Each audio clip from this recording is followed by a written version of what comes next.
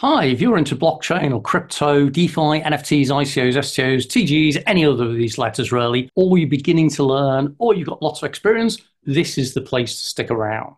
We hold these sessions every Sunday evening, 7 pm till 8 pm UK time, and they're open to everybody, novices and experts alike. If you're still learning, then this is a great opportunity to pick up knowledge about how various things work or learn more about some of the buzzwords that you hear. If you're running a project, we do our Gone in 180 Seconds, which is where get the opportunity to pitch your project or initiative and talk about what you're doing without slides, without websites, without additional things, just actually talking and then we can chat through and learn more about the initiative you're you're involved in. Do remember to subscribe, to like, click on that little bell so that you get notified about other sessions in future. But most importantly, come along, they're open to all. Anyway, let's see what we're going to talk about this week. And Kavya. Hey, Kavya. Hi. Is it Gary? It is, yes. What, what, bring, what brings you along today then, Kavya? Uh, well, I I wanted to actually have a more in-depth idea about the concept of blockchain, cryptocurrency, Bitcoin, how the exchange works, and things like that. So I'm not sure if this is an exact forum to ask such very basic questions, uh, but um, I thought it, it, it, it's the perfect forum for that kind of thing. That's the, that's the whole idea of these sessions. It's open to everybody who wants to ask beginner questions right the way through to much much more advanced stuff. So that, that's not a problem at all. Um, how much do you actually know about blockchains and crypto to begin with? So based on what I have read, um, I've got a very confused idea. So that's why I was like, you know, trying to get it uh, straightened out. So it's it's more about um, like I have the basic idea of what is blockchain or what is a Bitcoin or cryptocurrency, but it's more on its uh, functioning um, that I'm not clear about. So, you know, um, how did it originate? How is it tracked? How is that okay. security maintained and things like that? Okay, so good, good opportunity is we, we, have got Gabrielle on, but nobody else on. Gabrielle, can you hear us now? You, uh, no, would... I think she's still uh, connecting uh, to the video. She's facing some connection challenge. Okay, now uh, she. Okay, okay, no problem. Hello, Gary. Will you hear me, Cambia? Hey, we can hear.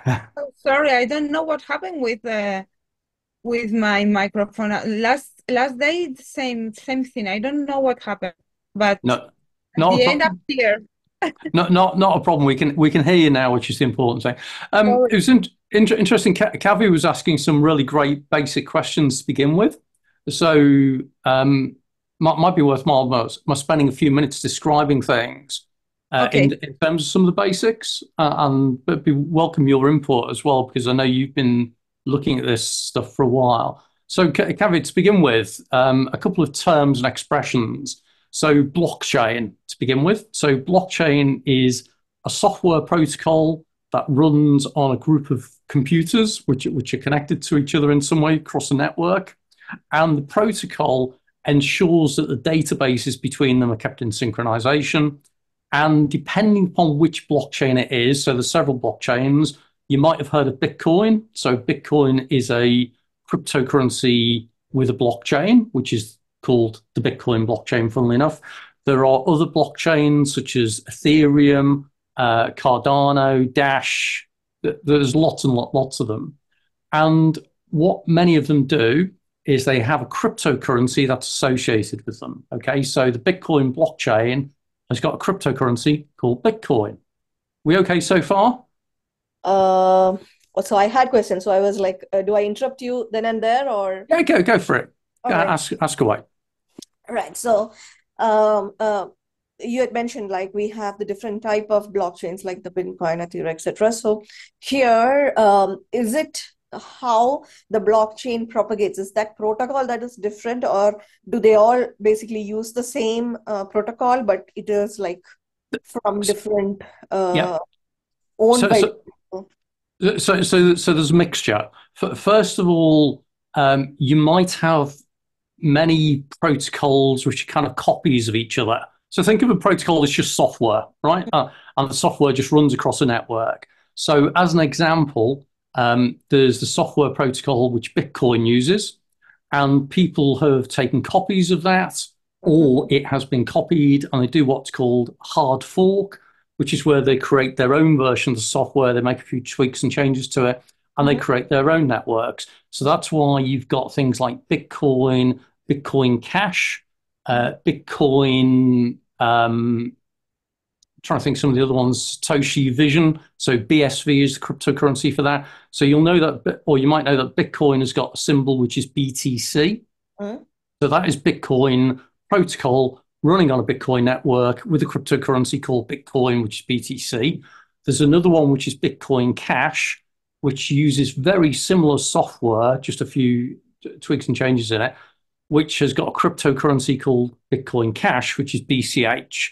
And then there's another one which is Bitcoin Satoshi Vision, which is BSV. So there are various versions of, the Bitcoin blockchain protocol to begin with. Then there are different types of um, blockchains beyond Bitcoin. So another one is Ethereum. Ethereum uses a similar but different protocol, which, which is the Ethereum protocol. There you go. They, they keep things simple. Uh, but they work on similar lines. Okay. The next level beyond that is what's known as the consensus mechanism. So this is how do the databases all keep in synchronization with each other. So the mo- so uh, I'll quickly just explain that. It'll make sense. This is where you might hear of a thing called um, Bitcoin mining. It actually says blockchain mining, but we'll talk about Bitcoin mining, for example. This is where the, the consensus mechanism, this is the thing that keeps everything synchronized and agreed with each other, is a thing that's known as pro, proof of work. Mm. And this is where you might hear of blockchain miners or Bitcoin miners who are all running these high powered computers, uh, which solve a puzzle every 10 minutes, which is in a big competition across all of them. So that's how the Bitcoin protocol works. Ethereum used to use a similar thing called proof of work. It's moved to proof of stake. But in essence, different blockchains are different pieces of software that behave similarly, uh, but have got variations in how they ensure that their networks are synchronized. Does that does that all make sense so far? Yeah, so a couple of things that I wanted clarification there is I guess somebody else is also joining in. Feel free to mm-hmm. stop me if there is a agenda by which this goes. So right, carry carry on, carry on. We're all learning on this. right. So um, one, um, as you mentioned, the Bitcoin uh, protocol or an Ethereum protocol, it runs on their network, you said. Mm-hmm. So um, like, are they like separate organizations? that have their own network. Like, for example, let's say um, you have the different cloud providers like the Google Cloud, Azure, mm-hmm. and AWS. So, uh, you know, like uh, their data centers or their machines, their clouds, their services, that's yeah. dependent to them, although yeah. they are similar in nature. So is it something like that, or it, it, it can be? So, so, some blockchain miners or some Bitcoin miners, for example, they might have complete computer rooms filled with these um, high-powered computers, all just running the Bitcoin protocol. Okay, as Bitcoin mining, or they might be mining operations that actually identify which cryptocurrencies are worth mining, and it'll flip. So it'll go from Bitcoin mining one day to Ethereum mining to another to, to various things. So you can actually um, change them. And uh, as I say, the Bitcoin protocol is simply software on a computer. So you could load the Bitcoin mining protocol on your computer and mm-hmm. take part in that mining operation. Um, it's just that in all probability, your computer's not going to be powerful enough and you're never actually going to mine any crypto. So yeah, the, the software can be loaded such that you can mine multiple cryptocurrencies, um, or you can dedicate it to just running one. And this is where you get some people who might run like Bitcoin mining on, on dedicated computers, or they might use, you mentioned before, Amazon Web Services, Google Cloud, um, Azure, or all these kind of things, where you can potentially run mining operations on those as well. So, this all making this all making sense? Yeah. So taking one step back, the whole idea of why bitcoins or the cryptocurrency came into place, I understand it is to uh, replace the existing um, money that uh, you know form of currency that we have in the world in order to um, make it more transparent, um, avoid all the issues of uh, black market, black money, and uh, have a transparent form of uh, currency exchange in the world. Is that understanding right? So part of it, if you go back to one of the original uh, papers that's around this, is is the Bitcoin blockchain white white paper that was written by we don't actually know the real name of the author, but it's what's known as the Satoshi Nakamoto uh, mm-hmm. paper. Satoshi Nakamoto is a pseudonym, so it's not a real individual. They've never actually worked out who it is. And it's a, a relatively short paper that explains the rationale behind Bitcoin and how it works. And fundamentally, uh, Bitcoin as a cryptocurrency was designed to develop a solution that provided a means to electronically transfer value without an intermediary. Uh, and that was it. So it was a peer to peer payment system. Okay.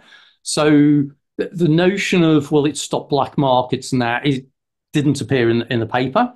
Okay. Um, and it, and it not, wouldn't necessarily. Uh, the, the, notion of transparency d- doesn't actually apply in the paper either.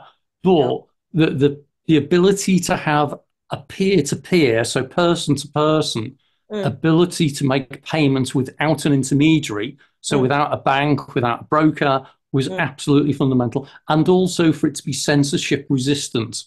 And by mm. that, I mean the idea that you and I could continue transacting with each other mm.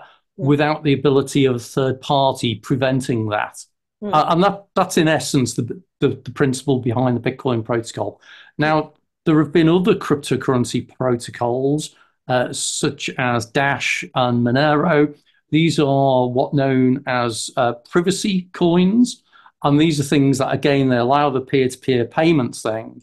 And they do it in a way that they make it very, very difficult, if not impossible, to work out who is making who is involved in that transaction. So that, that's where privacy comes into it. That right. all, all makes sense as well. So I just yeah. want to say hi as well, joined by Jolly as well. So hi, hi, Jolly. Jolly's staying quiet, always trying to find the mute button. Hi, hi, nice to meet you guys. hey, we're just talking about the basics of blockchain and cryptocurrency at the moment. So a, a good a good primer if you don't know about it, but if you do, you can join in the conversation as well. Of course, of course, I'm working in this field as well. Excellent. Yeah, but uh, I specifically to do um like a to tokenomic design for those blockchain games. So I always keep eyes on the trend of the cryptocurrency and the market information. Yeah, Alpha project as well. Brilliant. Okay, well, we'll we'll talk about the project in, in a little while if you would like. That that'd be really interesting. Um, it might be worthwhile. I, I, was just going through with Kavya some basics around what a blockchain is and how it works. Mm-hmm. That that that leads quite nicely into the next thing, Kavya, that you might ask which is, well, what's the difference between a cryptocurrency and what um, what Jolly just mentioned there of a token? Okay, so remember I said before about how the Bitcoin blockchain, for example, is a group of computers that are all running the same software to, to mine the cryptocurrency. You, remember, you remember that? Okay. So what, what the software does is it sets a puzzle and it gets a set of transactions. So these are the, if this might be, you know, I've sent some Bitcoin to you, you've sent some Bitcoin to Peter who's just joined us, and so on. That that gets built up into what's called a block. So this is just a set of transactions, and every every ten minutes, the people who are miners on the network, their computers uh, have a competition to see who can solve a particular puzzle, which is what's known as a cryptographic hash of, of those tra- transactions. So it's all clever mathematics doing various calculations, and it comes up with a solution to the, the puzzle. Whoever solves that puzzle first and the others agree, or sufficient of the others agree with it, they are rewarded in cryptocurrency. Okay, so in the Bitcoin case, when Bitcoin first started in 2009, 2010, um, every 10 minutes, whoever solved the puzzle was rewarded 50 Bitcoin. Then four years later, that was reduced to 25. Then it was reduced to 12 and a half. Currently it's six and a quarter. And in April of this year, it will reduce to 3.125. So every four years, the amount of crypto that a miner is rewarded is halved. And this is why you might hear the term the Bitcoin halving process. So every mm. four years, the, the reward is halved. And that is how new cryptocurrency comes into existence. It's, it's mined every, every 10 minutes. So cryptocurrency is the native token related to a blockchain. So remember I said the Bitcoin blockchain has got a cryptocurrency called Bitcoin. The Ethereum blockchain has got a cryptocurrency called Ethereum and so on. So they are what is known as native cryptocurrencies. With Ethereum from about 2014 onwards, there was a capability to actually uh, do programs on, on blockchain. So not just transfer value, but actually write little programs which are called smart contracts. And these allow tokens to be created, which basically say, if this happens, then do this. Mm-hmm. And they could transfer values in there. And that's where you've got the concept of what are known as crypto tokens. Mm-hmm. And this is where, particularly on the Ethereum blockchain, on the Cardano blockchain, a few others, there are these programmable tokens. Mm. And that allows you to do all sorts of amazing things. So, jo- Jolly mentioned before about how they're doing tokenomics uh, on gaming. Mm. But you can do things like it, it's kind of like having a Starbucks loyalty card, mm. whereby you can create tokens that pay people for doing things either like playing games. Um, or participating in activities and so on. Mm. And then some people have then developed it further, mm. where you can create what are known as NFTs so hmm. these are non-fungible tokens. Hmm. So these are little tokens that represent uh, the ownership of things. So this is where you might see artwork, music, games again, uh, now coming into real estate, property, gold, all sorts, which are represented by these tokens. So these are what known as crypto tokens. And then if those tokens relate to physical assets in some way, that's where you'll hear the term crypto assets. So you'll you'll hear three things. You'll hear cryptocurrency, which is a native cryptocurrency. You'll hear crypto tokens, which is a programmable capability, and you'll hear crypto assets, which relates to an actual asset. And in different countries, those definitions kind of change a little bit, so it gets a bit blurry. Does, that all make sense? Yeah. So if I just quickly summarize, mm-hmm. uh, the objective of having a blockchain-based uh, cryptocurrency was uh, to have a peer-to-peer exchange of currency without a third party involved in it. Correct. But, uh, um, so I have a question there that uh, because this is more like a soft currency, mm-hmm. Uh, you know, like how is the value determined? Like in in okay. a normal uh, world like you have like one dollar is equal to this much euros or this much pounds yeah if a translation happens where um, the different bodies they kind of maintain or regulate uh, the currencies so yep. in terms of the crypto world how is that regulation happening one second okay. um, um, like you mentioned like uh, um, although the original uh, objective of this was exchange of currencies uh, between peers. Uh, now it's more like there are some uh, there is some uh, number of coins or currency thrown on uh, on the internet somewhere, and um, people uh, mine it by solving problems, and they take it. So it's it's more like a treasure hunt kind of a thing rather than like a peer to peer exchange. Yeah. Okay. So, so let, us take it in stages then. So first of all, you talked about um, the value of currency. Yep. First of all, uh, the value of currency is not regulated, mm-hmm. uh, and by that I mean fiat currency. Okay.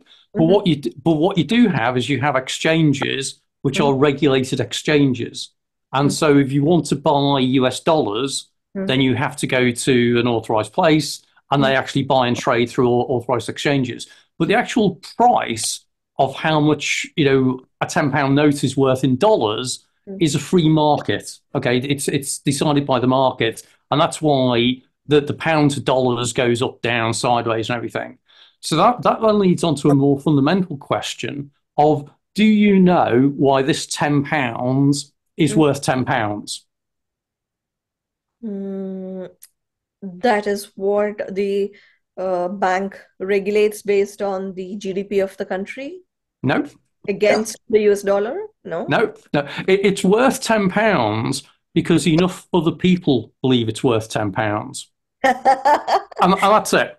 Okay, and it, it really is as simple as that. So this this doesn't represent years and years ago.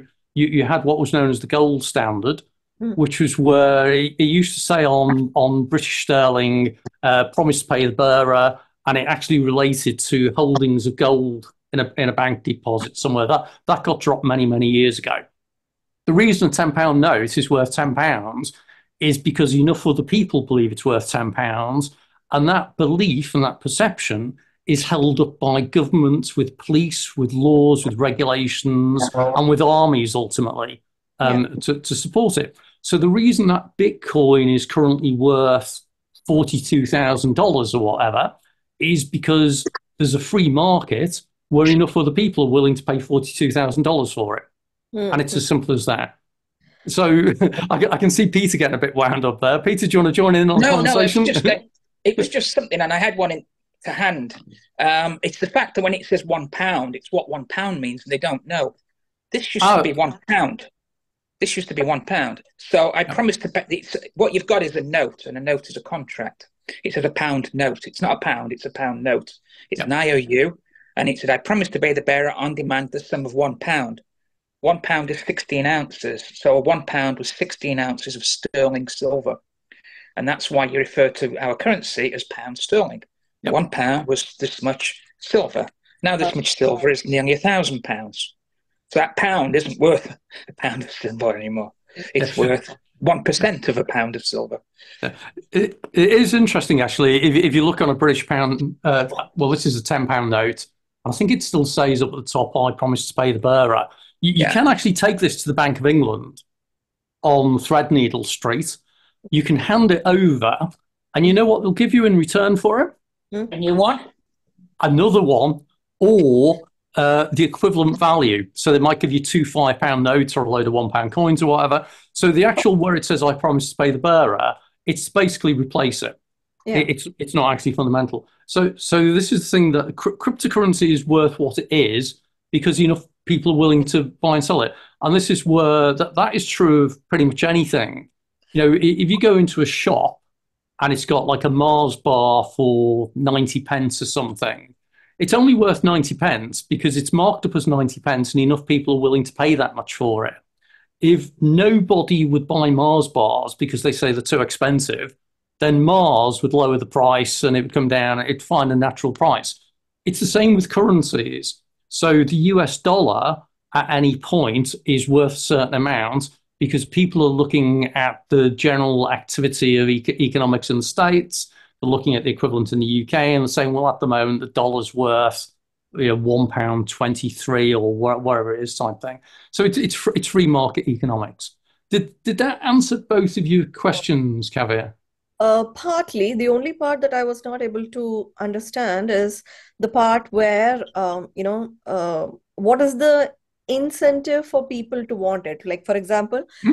the uh, how currency came into being is once upon a time anthropologically we had uh, a barter system where say uh, you know uh, um, you have a goat i have a sheep and you know for equivalent to one kilo of yep. your goat um, I, I, I give you like uh, one kilo of my buffalo or whatever and you know th- that was uh, the um, means of how um, the uh, what to say uh, transactions used to happen and yep. when different people had different things like one guy has meat another guy has uh, vegetables another guy has something else then it, it was again difficult to uh, have that kind of um, uh, a, a, common uh, regulation where it says that okay for one kilo of goat you get 10 kilos of potatoes yep. so that is how the currency came into place where you can say okay you know you assign amount and assign a gradation of values to it based on mm-hmm. which you can uh, do trading yep. so uh, what so, is so, cryptocurrency go, go. Uh, uh, you know like uh, you said that it is because people believe in it but mm-hmm. uh, what is their incentive in moving from um, you know, um, this to this. Yeah, yeah. Okay. So, so, you're right. First of all, that the purpose of money in this kind of form is to fill what's known as the double coincidence of needs, which is I I need a carrot mm. or a, a, pound of carrots, and you have a need for some timber to build a house, mm. but we can't exchange carrots for timber. So what, what we need to do is come up with a, a an intermediary that allows an exchange in some way. And you know, if you're selling a, a cow and I don't want a whole cow, you know, you can't exactly slice a bit of it off type thing. So you're absolutely right. Okay. So the, the, the reason that cryptocurrency is attractive to people is because of two reasons fr- from my perspective, certainly. Uh, one is it cuts out the middleman. And whenever you have middlemen in any transaction, it always introduces friction and cost. So if you think about um, if you're repatriating money to another country, and you go via, you know, PayPal um, or any of the um, payment providers or banks for that matter, you'll normally pay a fee. And it'll be a, it'll be a hidden fee because they'll do it in the transaction transfer. So if you convert from pounds to dollars, they'll make a margin in some way. So first of all, by using crypto, you're removing the intermediary. You are dealing di- directly. So that's one reason. And then the other reason is if you saw what happened in Canada, for example, about two years ago, where there were a group of Canadian truckers who were protesting against lockdowns, mm. um, and the Canadian government instructed the Canadian banks to freeze their bank accounts. Mm. Okay, now the Canadian truckers at the time weren't doing anything illegal. They've got a right to protest in that. But suddenly they lost access to the ability to make payments and receive payments. Mm. So this is the censorship resistant piece. So that, that that's the, the second major thing where crypto is attractive. So for me, the, the two main areas, and, and, there are others for other people as well, is certainly uh, censorship resistance um, and the fact it reduces the intermediary. So the, there's a couple of things. I just wanted to invite in, we've got a few more people who've joined us. See, um, Chris has joined us and uh, James as well. If anyone wants to join in on this conversation, any other thoughts about what makes cryptocurrency attractive, now, now's a great chance. So can, can I add to that, Gary? When you when um, um, you're just saying there about they want you to change a cow for a house and use money. You didn't. You used gold or silver or copper. Mm-hmm. You used commodities. You used a, a, a transportable means. And the currency that we have, pounds, shillings, and pence, LSD, was gold, silver, and copper and you had gold coins, silver coins, copper. The notes came in so that you didn't have to carry big weights of gold and silver, but you used yep. you should have had the you should have had that commodity in the bank. Mm-hmm. And then discovered people didn't have the commodity in the bank sometimes, and then you trust the government for it, but we don't trust the government now. A lot of us, and especially we don't trust the banks. So there's the trust bit you've got, but yep. the other part is the transport. If I want to take my money out of this country because I don't like the government, they're going to restrict me on what I can take out. Even going to the bank now, if I ask for £10,000 of my own money out, the bank's going to ask what I want it for. And if I say put it in crypto, they won't give it to me. Mm. So now I don't trust the government. I don't trust the banks. And if I want to move around and travel globally, I don't want them to pin me down to what I can transport. Yep. Whereas if it's in the cloud, all I need my password. Yep. So that's, and you might say, Gary, when blockchain, when Bitcoin came around, it was two, it was a 2008 crash. Yep. When they were printing money and devaluing money, that was the origin of it. It's people didn't trust fiat money anymore. It's, a, it's uh, I, I, think. Well, you're absolutely right. In fact, one of the first was it the first uh, Bitcoin blockchain signatures in there uh, was actually a headline from the Times about the global financial crash. So it was clear that Bitcoin was the kind of thing that. Cavi, I was going to say that the other thing as well um, was I've lost my train of thought. I was, I was, about to introduce another thing there that was quite important. Uh, oh yes, banks. This is the other thing: is that people um, are trusting banks less and less. And I, and I get this. I, I, go to conferences, and I, I, was on a panel a few months ago, and I, I said to the audience, "How many of you have got your money in a bank. And lo- loads of hands went up. I said, okay, none of you have. Can you imagine? Uh, sorry? I, I want to uh, like share a story of mine to tell yeah. you how attractive for the bank. Do you want to finish that off, Gary? Because you're going to say it's not yeah. your money anymore; it's the banks. Yeah, Jolly, definitely. Let, let me just quickly share this story because it, it further emphasizes Kavya's point as well, or, mm. or the points of Cavia. Okay, so I was at a conference and I said to people, How many of you have got your money in the bank accounts? And loads of hands went up, and I said, None of you have. When you put money, your money, into a bank account, it ceases to be your money. It's legally a loan to the bank. And there's a subtle difference there. It means that the bank is not acting um, as a custodian. They are now a creditor. Oh, sorry, you are now a creditor. And that's why it is that in the UK, there's a thing called the FSCS, which is the Financial Services Comp- Compensation Scheme, which compensates you in the event of a bank going under. Okay, so this is the thing that where people put money into a bank account and they think it's their money. It isn't. It ceases to be theirs. So this is an, another thing of crypto. Sorry, jo- Jolly, you were about to share something. Yeah, it's a funny story, and it's not it's unsolved issue as well. A few days ago, I made some transactions from my Barclay Bank account to um, MetaMask Mm-hmm. So I withdraw some money and I put some money into the uh, bank into the app uh, wallet, and uh, after almost seven transactions, Barclay they closed my bank account with because of these transactions, and Yep.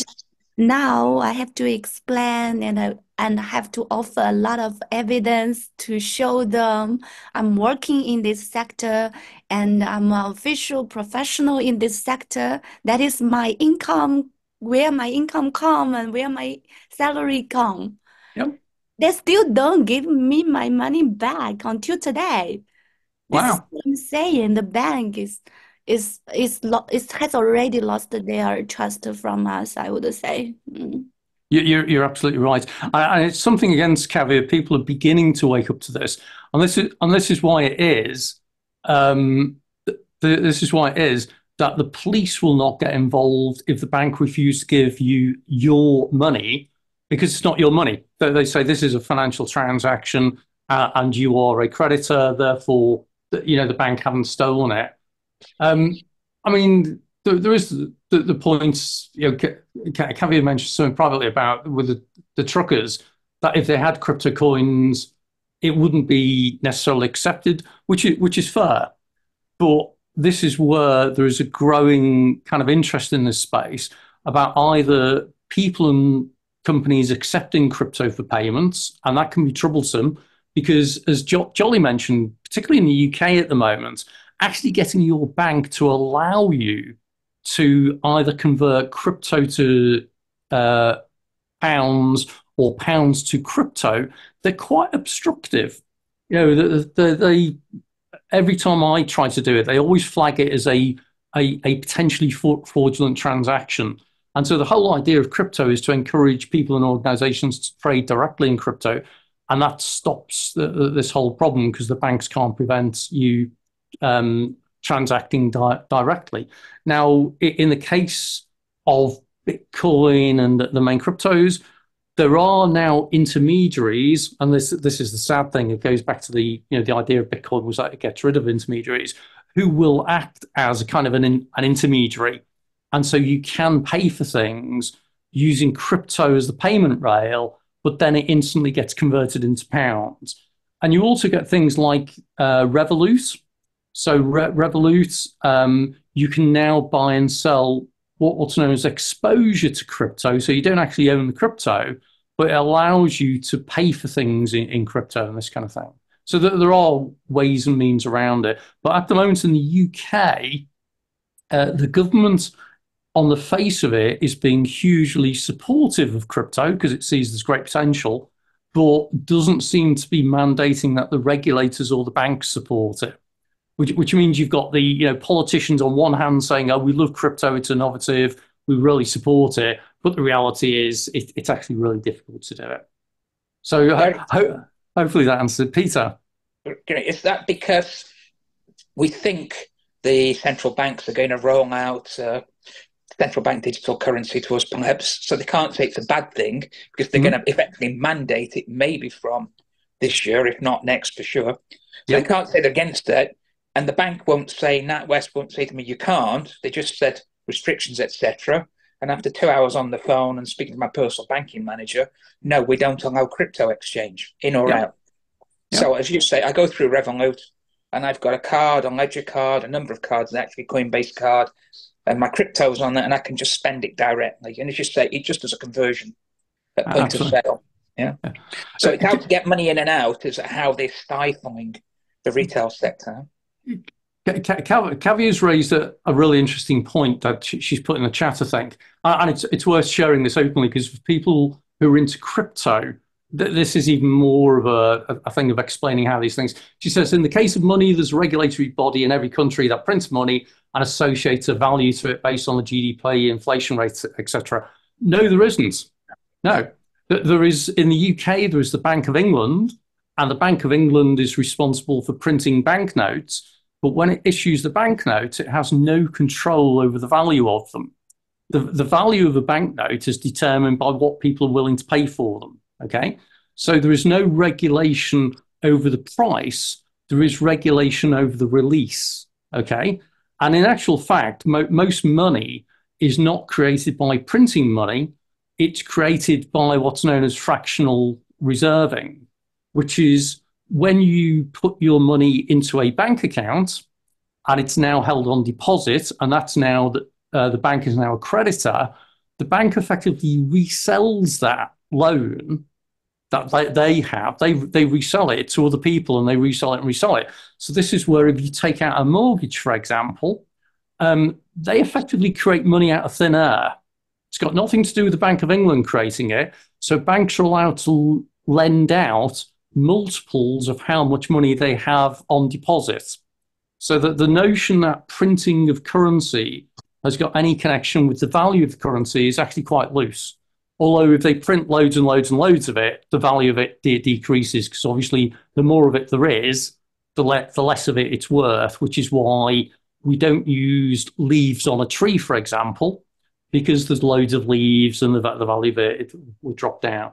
So the thing where you're saying about how crypto coins regulated, um, in terms of the price, it's total free market. So there are multiple exchanges. So if you want to buy Bitcoin, you can go on to you know Kraken, Binance, Crypto.com, all, all these websites, and you can buy and sell crypto whatever people are willing to sell it to you for. So it, it's totally open there. So there's there's no regulation on the price of cryptocurrency, nor is there any regulation on fiat currencies. These are government-backed currencies. So it's more like. I just wanted to add, add or complement, add something to what you said, or maybe correct it partially. Um, what's what's interesting about the borrower-lender relationship, I think, is largely misunderstood. Is that when you go to borrow money, um, when you put your signature on a piece of paper, you have effectively created the money. Yep. yep. So in essence, to a to a large extent, when someone hands you a bunch of banknotes, so what's interesting about this is that it's different um, in the way it used to work versus the way it actually works now, because we used to have real money. So if someone gave you gold and you gave them a piece of paper, they had given you a real asset. And so that's that signature meant that you owed them back. But now that what they give you isn't real money, they actually give you debt, right? If a, a central bank note is is uh, the central bank's liability, it's it's a liability. So effectively, when you sign for a mortgage, you you shouldn't you don't actually owe them anything they gave no. you these banknotes and you gave them a signature in exchange for those banknotes and that transaction is complete and yet nobody really understands that and the the banks of course work on on the ignorance of the of the counterparty so that on top of uh, your signature they get to have you return the notes, right? But they're but but it makes no sense because it's it's not real money. It's actually a, a, an obligation, and so this is actually how money is created. It's not really by the banks. It's not it's not actually by the fractional reserve system. It's merely by the fact that someone writes on a piece of paper, "I owe," and they take that as an asset and they bloody sell it as an asset. Yeah, it's a, a, really good point. And uh, Kavya asks as well, who's the issue of that limiting the number of coins in circulation? So in Bitcoin's case, I, I, mentioned Bitcoin is a software protocol, so a piece of software. Within that software, it actually has um, a hard limit of 21 million Bitcoins, ultimately, is the most that will ever be generated. And this is why, again, the software protocol within it, every four years, halves the number of Bitcoins that are released every 10 minutes when each uh, when each block is mined. So if you actually draw this out, you'll see that bitcoins will cease to be produced through mining in 2140, which is over 100 years ago, uh, uh over 100 years away. So we don't need to worry about it yet. So in, in Bitcoin's case, the the limitation on the number of coins is controlled by the software. Not all uh, cryptocurrencies operate that way. So Ethereum, which is another cryptocurrency, does not have th- this limit on it. Um, that that that just limits it in in different ways that, that I, I'm not familiar with. So ultimately, limits on the number of coins that are issued, the rate at which they're issued, and so on, is typically controlled by the software that runs on that blockchain's uh, network. But, so, uh, uh, the part of the question is like um, now there are Bitcoin uh, coins, Bitcoins that are there uh, on you know. So um, what if like I hack into that or I kind of duplicate it and I generate my own coins? So you can't. It, it, this is a sure thing. You, you could um, you could create your own hard fork, which is where you copy the software and you create your equivalent. So it'd be the uh, the blockchain, uh, it'd be the Bitcoin Kavya coin, but that's not BTC, that's your own coin. So everyone would recognize that and it would have whatever value people are determined on that.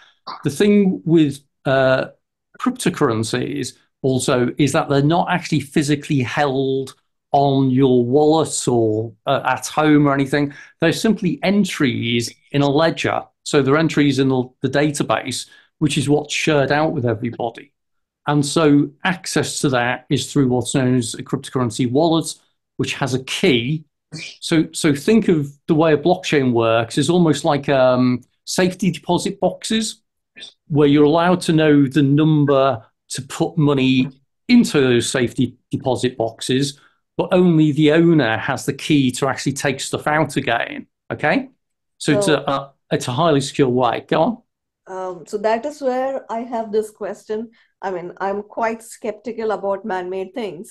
Mm-hmm. So, um, assuming that all of you are from the software background itself, the fundamental uh, security of our um, applications are based on hard problems. That mm-hmm. uh, it is either irreversible in nature, like the keys or the things that we talk about. It's it's based on that hard problem that it is uh, computationally challenging to uh, uh, what is it decipher it or uh, yep.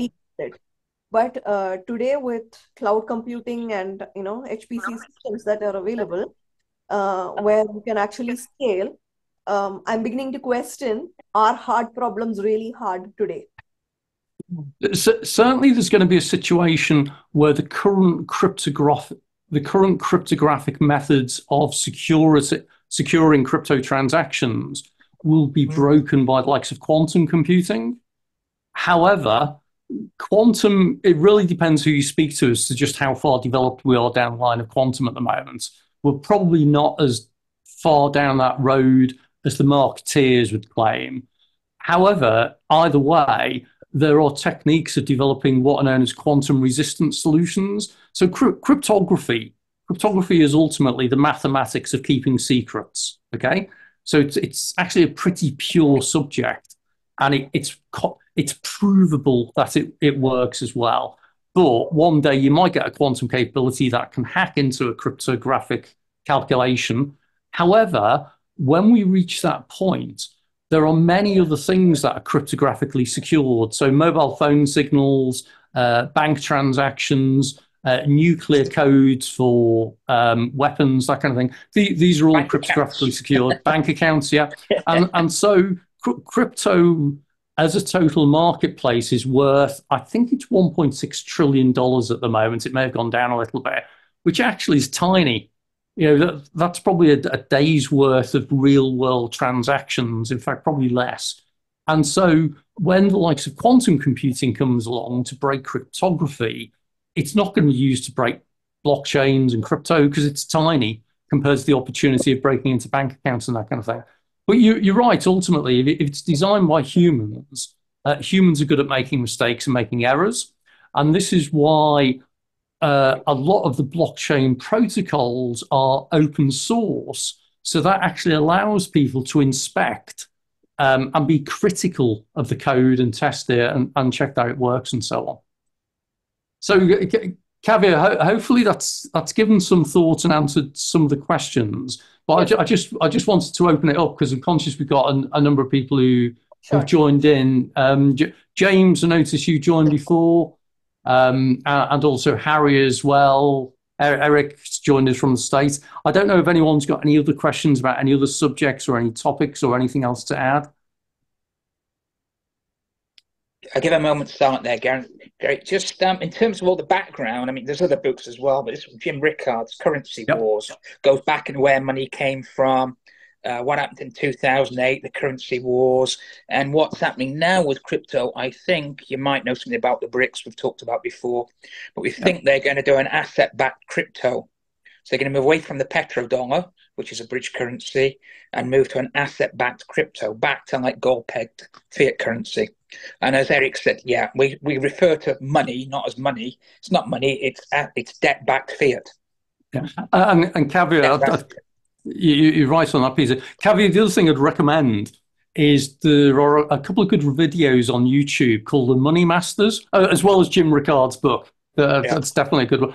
But you check out The Money Masters, and okay. it's about it's, it's about a three-hour film. I think it's a documentary from a long time ago where it actually explains how the US Federal Reserve came into being, how money is created, um, how it's not at all what you think it is. And the, the, the thing I've loved about learning about crypto is it actually forced me to learn about real world money as well. Uh, and I'm still learning and developing. And, you know, rightly, Eric corrected me on some stuff earlier on. It, it's you find that actually when you get into crypto, you end up going down the rabbit warren of discovery of actually about real world money, which is fascinating. So, yeah, interesting. I'll take a look. Definitely worth. But yeah, any, anything by Jim Rickards is good. Um, so, Currency Wars is a great one. Um, and yeah, the the Money Masters in the in the crypto group that I used to run locally, I used to make that mandatory watching for everybody because it, it, it teaches you so much about what you didn't realize how money really works. So, but back back to everyone again. Uh, Chris, Chris has joined us. Happy New Year. We're, we're not spoken since uh, last year, I think. How's it going?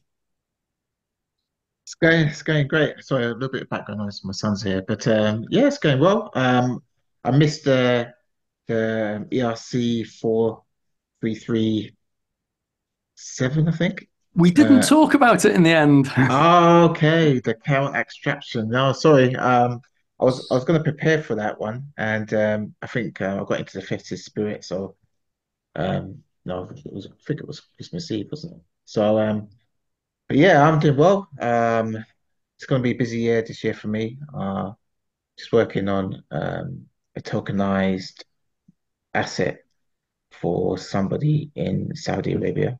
Mm-hmm. So, so he's got a great business, and um, so we're kind of I'm working with a couple of guys from Dubai on there, and um, also just looking to because I work in the startup space. Um, uh, if people don't know, um, so I'm working with startups, trying to get them to to educate on Web three and um, understand how they can innovate within that within this space.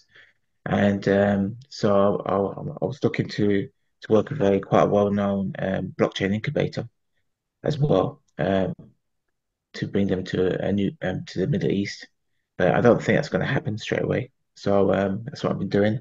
But this year, looking to to really branch out and and uh, create a my consultancy in Web3. So that's what I'm I'm looking to do, just to help small uh, businesses, medium-sized businesses, and maybe do a big one, uh, maybe to to educate and to start thinking about how they can um, really take advantage of this real shift in wealth when it comes to to Web three and um, and what what it really means.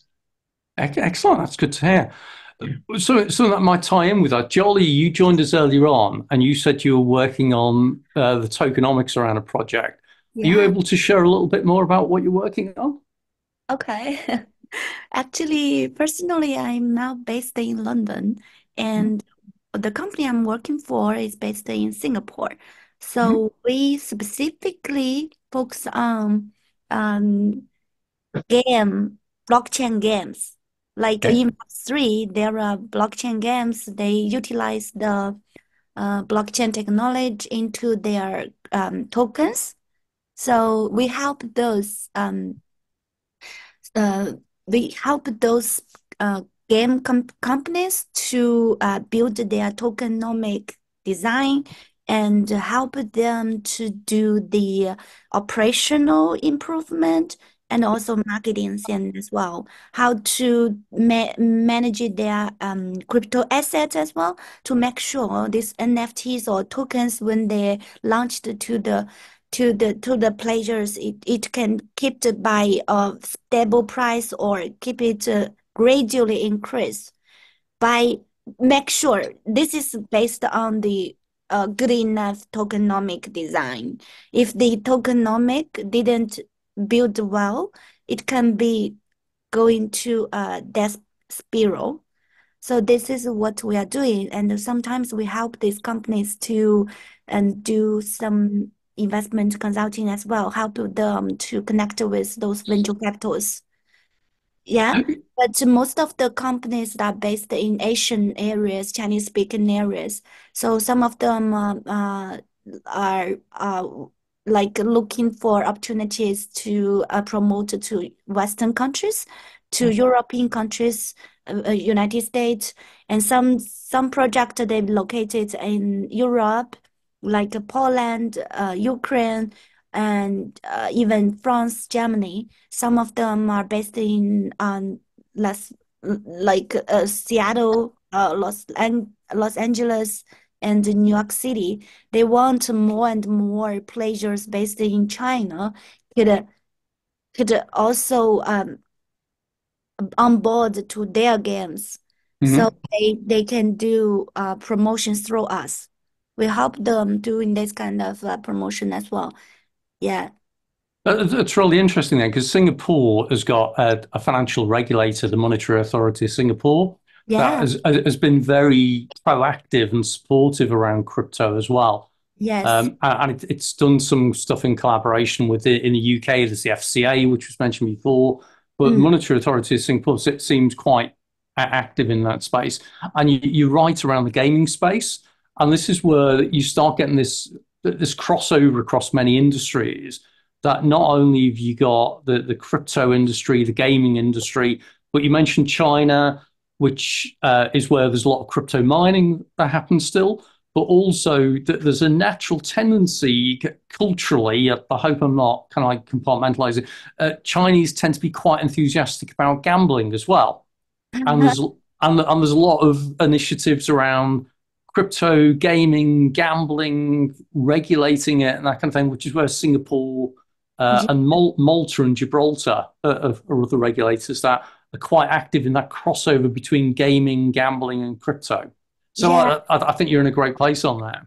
Yeah. So in mainland of China, it's totally um, quite strictly regulated by this kind of thing. So that's why the company, even though they are doing project uh, which is Chinese speaking, but mm-hmm. most of them based in Singapore. Yep. yeah. But still, the pleasures on board, they are Chinese speaking uh, pleasures like Malaysia, Singapore, mainland of China, Hong Kong, Taiwan. Those people, it's just because of the regulation now, it's not that loose yet, it's not that welcome yet but it doesn't mean those pleasures, like the, those pleasures, they still are, are, are very, um, let's say, attractive to this kind of um, engagement because they know they can play to earn. They can earn money by playing this kind of game on board this kind of uh, activity. Yeah. Yep. Uh, also, sorry, go on. sorry to jump in there. Sorry, I know we ain't got much time, but I'm also a co-founder of a uh, Web3 Oh, blockchain gaming company. Really? Uh, yeah, yeah, we're we're we're just going through about to go through a seed round of Wow. VC. Uh, it's a platform hmm um, that we're we're looking to onboard of the indie games as well as play to earn or play to own type um, initiatives on our platform. So it'd be great to talk to you, Jolly. Yeah. What what is the name of the company? It's called 8-Bit Arcade. 8-Bit Arcade. Okay? Retro. Yeah, the, the CEO is very uh, old school um, um, gamer. Okay, because Yeah. if, why I ask this because uh, in the UK I know there's a company which doing similar thing of yours. It's a platform crowded with different play uh, games on the on the platform. The name of the company is Tribally. I don't know if you heard about it. Tribally, yeah. Yeah. Um, it's, it's a couple. Um, I, I'm not too familiar with Tribally. Oh, no worries. We Yeah, can yeah. You, you, you, to you, talk two, you, you. two, you, two, should connect off, offline, definitely. Th- This is a great thing, and you know, I always encourage it. Do, Yep. do, Yeah. do, do, re, do reach out to each other. Yeah, I Um, mean, how can we do that? Do we do put a LinkedIn or uh You find me from LinkedIn.